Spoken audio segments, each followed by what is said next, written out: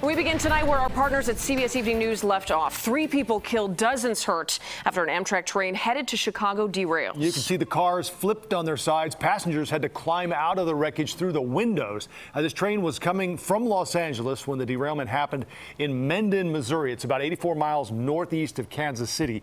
CBS 2's Marissa Perlman live at Union Station where that train was expected this afternoon. Marissa?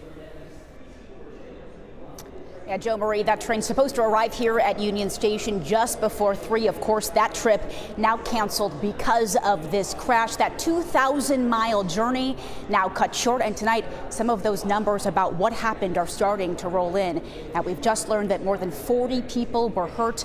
Three people were killed, two who were inside the dump truck that collided with this train, and one person on board that train. Listen now to one passenger who survived this. I was afraid the windows were going to smash, so I shindied myself up against the exit to the room, and then we slid, and then we came to a stop, and it was silent for I don't know a while, and then I heard some girls crying from the next room. He, like many, was able to climb out and ended up sitting on top of one of the train cars.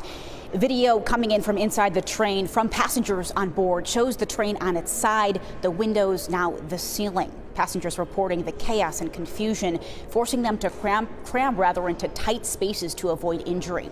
Aerial photos show you another perspective from this derailment. Amtrak says the train collided with a dump truck. Eight train cars, seven of them carrying passengers, went off its tracks.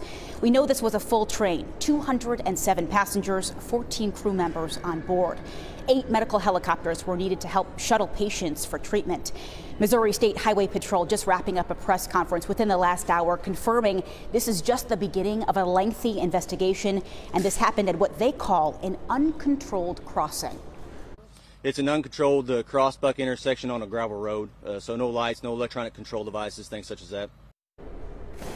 Now, it takes about two days to travel from LA here to Chicago. Survivors of this crash were taken to an area high school. Others were taken home. That includes a group of high school students who are traveling from Kansas to here to Chicago for a leadership conference. Organizers tell us this evening none of those students were hurt in this.